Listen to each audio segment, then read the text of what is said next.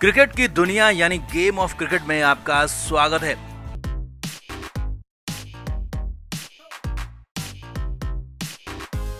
भारत ने पाकिस्तान को world cup के मुकाबले में छह रन से हरा दिया। बेहतरीन ये मुकाबला हुआ। एक बार तो ऐसा लग रहा था कि भारतीय टीम बेहद आसानी से मैच हार जाएगी, लेकिन फिर मैच पलट गया। जसप्रीत बुमराह ने मैच को पलट दिया, लेकिन मैच पलटना बड़ी बात नहीं है, बल्कि इस मैच के बाद पाकिस्तान के ड्रेसिंग रूम में जो हुआ, वो बहुत बड़ा हंगामा था, क्योंकि ड्रेसिंग रूम में हाथापाई होगी, झगड़ा हो गया। जी हाँ कप्तान बाबर आज़म को उठाकर फेंक दिया। रिजवान को भी थप्पड़ तक पड़ गया ऐसी खबरें न्यूयॉर्क से आ रही हैं, क्या किया इमाद वसीम? और फकर जमान ने सब कुछ आपको दिखाते हैं, बताते हैं। आप भी वीडियो को शेयर करें और कमेंट करके अपनी राय ज़रूर दें।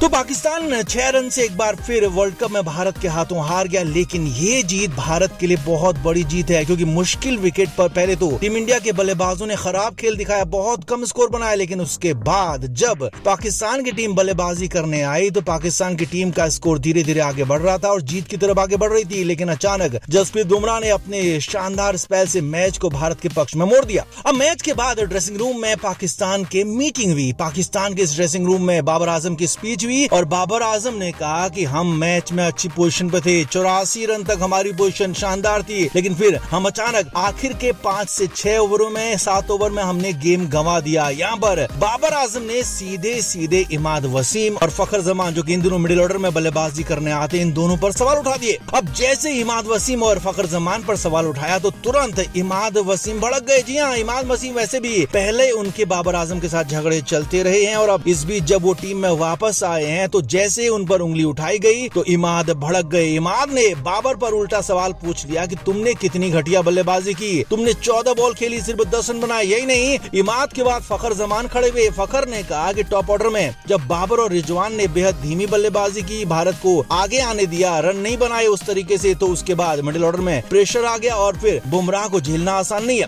अब यही पर बातचीत आगे बढ़ रही थी, को रिजवान भी बोलने लगे। जी हाँ रिजवान जैसे ही बोलने लगे तो उसके बाद तो इमाद वसीम और फखर जमान का पारा सातवें आसमान पर पहुँच गया। सूत्रों के हवाले से बड़ी खबर आपको बता रहे हैं कि इसके बाद तुरंत ही इमाद वसीम और फखर जमान उठे और उन्होंने बाबर को कुर्सी से उठाकर नीचे फेंक दिया। यही नहीं, रिजवान पर भी सीधे सीधे हमला कर दिया। रिजवान से कहा कि तुम बिल्कुल भी नहीं बोलोगे, तुम चुप रहोगे। इसके बाद तो पूरे ड्रेसिंग रूम में खासा हंगामा हुआ और उसके बाद अंत में कोच गैरी कृष्ण को मामले को समझाना पड़ा, सुलझाना पड़ा। कुल मिलाकर एक बार फिर पाकिस्तान के ड्रेसिंग रूम में भयंकर झगड़ा हुआ और इस झगड़े की वजह बनी भारत के खिलाफ हार जो की पहले भी होती रही है। तो आपका पाकिस्तान के ड्रेसिंग रूम में इस झगड़े पर क्या कहना है, कमेंट बॉक्स में आप ज़रूर बताएँ। वीडियो को शेयर भी करें।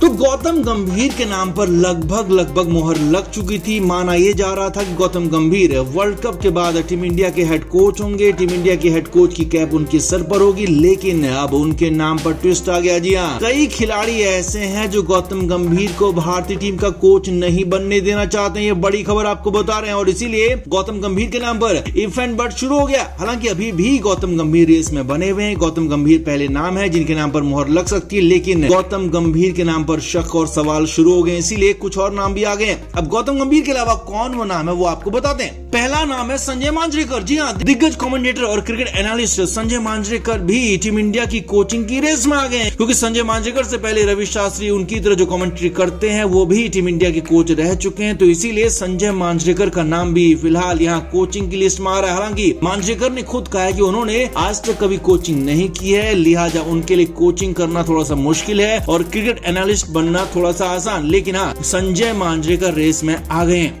इस लिस्ट में तीसरे नाम है सौरव गांगुली। जी हाँ सौरव गांगुली ने खुद कहा है कि वो टीम इंडिया का कोच बनकर खुश होंगे। जी हाँ वो चाहेंगे, उन्हें खुशी होगी। वो इस बात को बहुत ज़्यादा पसंद करेंगे अगर उन्हें टीम इंडिया का अगला हेड कोच बनाया जाता है। जी हाँ बीसीसी अध्यक्ष रह चुके, भारतीय टीम के कप्तान रह चुके, गांगुली अब टीम इंडिया की कोचिंग की रेस में आ गए हैं। सौरव गांगुली ने खुद इसको लेकर दिलचस्पी जताई है और माना जा रहा है कि खुद सौरव गांगुली अगर इसको लेकर दिलचस्पी आगे भी दिखाते हैं तो वो भी एक मज़बूत दावेदार हो सकते हैं। सौरव गांगुली को भारत का अगला हेड कोच बनाया जा सकता है, जो कि राहुल द्रविड़ के बाद बिल्कुल परफेक्ट फैसला भी हो सकता है, क्योंकि गांगुली दिल्ली कैपिटल्स की टीम को भी मेंटरशिप करते हैं और इसीलिए उनके पास कोचिंग का भी अनुभव है और वो एक अच्छे कोच साबित हो सकते हैं। हालाँकि इसके लिए गांगुली को पहले अप्लाई करना होगा। अब उन्होंने अप्लाई किया या नहीं किया, ये अलग बात है। लेकिन हाँ गांगुली रेस में शामिल हो गए।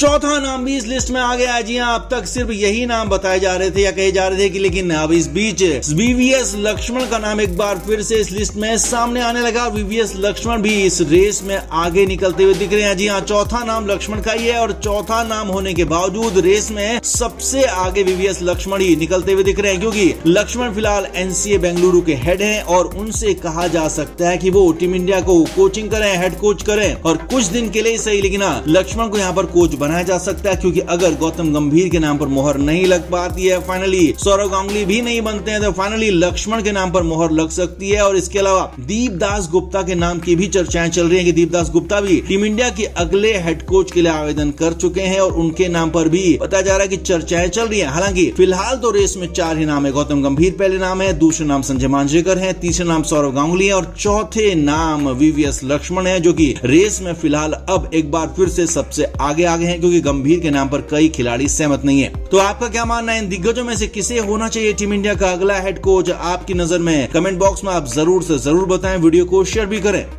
तो हार्दिक पांड्या के लिए हालात बद से बदतर होते जा रहे हैं। कंडीशन ये है कि उनका खेल तो खराब हो ही रहा है, बर्बाद हो ही रहा है। घर परिवार भी लगभग बर्बाद हो चुका है, क्योंकि उनकी पत्नी नताशा उन्हें तलाक देने जा रही है सभी जानते हैं। लेकिन अब नया बवाल शुरू हो गया। जी हाँ पहले आईपीएल के दौरान ही बवाल चल रहा था। लोगों ने कहा कि रोहित शर्मा के साथ हुई टसल और फैंस की हुटिंग की वजह से हार्दिक पांड्या खेल नहीं पा रहे हैं। हार्दिक पांड्या बॉलिंग और बैटिंग में ध्यान नहीं दे पा रहे हैं, कप्तानी नहीं कर पा रहे हैं और इसकी वजह बताया गया कि हुटिंग और रोहित शर्मा लेकिन ऐसा बिल्कुल नहीं था, क्योंकि हार्दिक पांड्या के अंदर बहुत कुछ और भी चल रहा था और वो वजह थी उनकी पत्नी नताशा। जी हाँ उनकी पत्नी नताशा के साथ उनके सब कुछ ठीक नहीं चल रहा था और इसी वजह से हार्दिक परेशान थे और फाइनली दोनों तलाक देने जा रहे हैं। लेकिन हालात ये है कंडीशन ये है कि हार्दिक पांड्या की पत्नी एलमनी के लिए ज़्यादा अड़ गई है। जी हाँ ये बड़ी खबर आपको बता रहे हैं। मामला एलमनी को लेकर फंसा हुआ था। हार्दिक पांड्या ने कुछ मोहलत मांगी थी। वर्ल्ड कप खेल लेने, वर्ल्ड कप खेल लेने देने की बात कही थी और कहा था कि वर्ल्ड कप के बाद वो सब कुछ ठीक कर देंगे। वर्ल्ड कप के बाद जो नताशा चाहेंगे, उस तरह से उनको अलग कर दिया जाएगा। लेकिन नताशा ने बीच में ही यहाँ पर नया बवाल बखेड़ा शुरू कर दिया है। खबर है कि हार्दिक पांड्या का जो घर मुंबई में है, उसमें पत्नी नताशा ही आजकल रहती है, जबकि हार्दिक पांड्या के जो दोनों बच्चे हैं, वो उनके भाई कुणाल पांड्या के पास रहते हैं। और खबर ये है कि नताशा ने अपने दोनों बेटों को वापस देने की बात कही है, जिस पर हार्दिक पांड्या तक भी बात पहुँची। और खबर यहाँ तक है कि हार्दिक पांड्या अपने दोनों बच्चों को अपनी पत्नी को देना नहीं चाहते हैं, वो खुद अपने बच्चों को साथ में रखना चाहते हैं, इसीलिए अपने भाई को ज़िम्मेदारी उन्होंने दी है, अपने भाई के पास अपने बच्चों को छोड़ा है, लेकिन उनकी पत्नी अब नताशा चाहती है कि बच्चों की कस्टडी उन्हें मिले और इसीलिए वो अब हार्दिक पांड्या पर प्रेशर बना रही है। क्रिकेट के हर नए अपडेट के लिए गेम ऑफ़ क्रिकेट को सब्सक्राइब करें और उसके बाद बेल आइकन को प्रेस करना ना भूलें, ताकि सिर्फ़ आपको मिले गेम ऑफ़ क्रिकेट की हर खबर सबसे पहले।